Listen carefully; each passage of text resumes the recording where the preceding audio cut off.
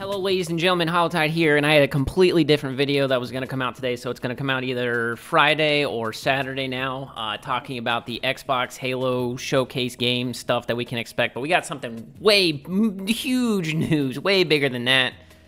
Apparently, Microsoft is working on a remaster version of Halo Combat Evolved, and could potentially release that game on PlayStation 5. So hold up, wait a minute. This is all coming from Tom Warren, if you don't know Tom, he is like an industry insider, um, and he's pretty well in the know for a lot of things. But he writes about Project Latitude, talking about bringing Xbox games over to the PlayStation environment. So obviously, this means it's like the very early stages, very early production. Maybe this is like CE will be the game that's on the Unreal Engine. We've seen a ton of remakes come out in the past, remasters of games that are super successful right now that have pretty much reinvigorated those franchises. I will say that I understand why they would pick CE and not do like Halo 3 at this point. It is weird because we have Halo 2 Anniversary, and honestly, it's kind of what I expected. If they were going to do like a remaster, I would have thought that they would have done CE. I think that's a good place to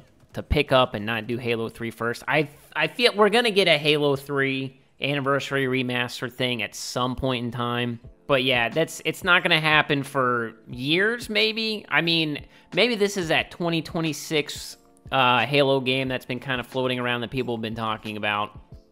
So don't expect anything at like the the Game Awards or the Xbox Game Showcase, but this is incredible news. I trust it. I trust the source. I think it's going to happen. I think it's smart. I can't like it's not one of those things where it's like, "Oh, there's no way that Microsoft would do that." But this is big news, big Halo news on a Thursday when I didn't think that there would be, hey, you know, big Halo news. But that's going to do it for the video. Short and quick. I like to not waste your guys' time. If you enjoyed the video, make sure you sub to the channel. It greatly helps me out, and I really do appreciate it. Leave a like for the algorithm, and I will catch you guys around the ring. Peace!